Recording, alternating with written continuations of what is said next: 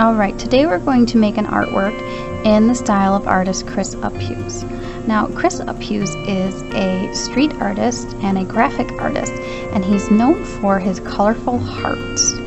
So I'm going to take my piece of paper and I'm going to be filling it completely with hearts with my crayons, all sorts of different colors. So I'm going to choose a color to start with, and anywhere on your paper, going to make a heart.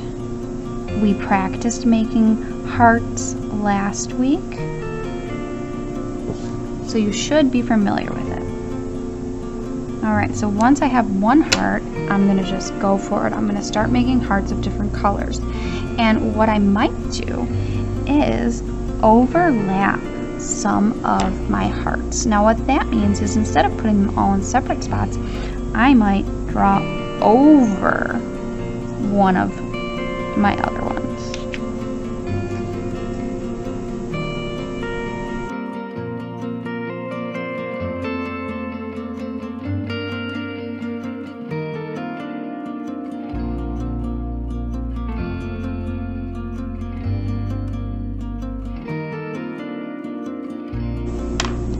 Alright my friends, so you could be finished just like this, or if you wanted to, we can turn this into a card by flipping it over and folding it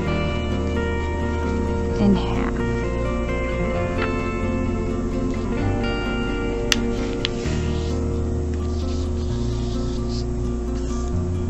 Now I have a card that I could write a message in and give to somebody.